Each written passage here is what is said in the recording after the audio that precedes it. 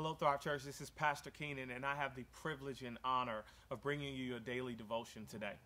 Um, this is a scripture that I've been reflecting on for the past couple of weeks, and I wanted to share it with you guys. And it's Philippians chapter 4, verses 6 through 7. And I'm going to read it in the Passion Translation. It says, Don't be pulled in different directions or worried about a thing. I mean, before we even get into the next verse, that's enough right there. You know, we have this opportunity right now uh, and it's with so much that's going on, we can be pulled in different directions. We're hearing about uh, sickness, we're hearing about death, we're hearing about disease, we're hearing about all these different things, and it causes us to, to be pulled in different directions and it causes us to be worried and be overwhelmed. But the Bible here says, don't.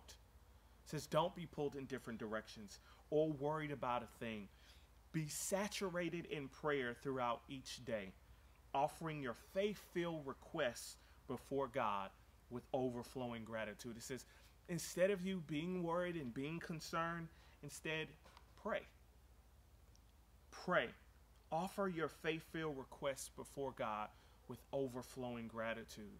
And it's just something awesome about prayer is when we when we start our prayer and we we pray thanking God for everything that He's done and, and thanking Him for all that He's done for us and the situations that He's brought brought us out of, it builds our faith and it puts us in remembrance of all that He's done and it assures us that He'll do it again. So it says, Don't don't be pulled. Offer your faith filled request. Tell him every detail of your life.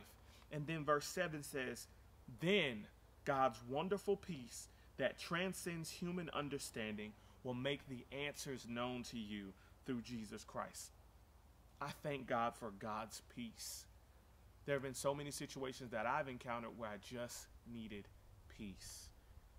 And he says that peace that transcends, that, that peace is not, that's not concerned about human, that's irregardless of human understanding, will make the answers known to you through Jesus Christ. And I love that because I think a lot of times that we have anxiety and we have uh, this worry, it's because we don't have answers to life's questions.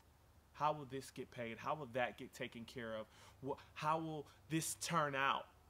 God says, don't worry about that. Pray. Can saturate yourself with prayer.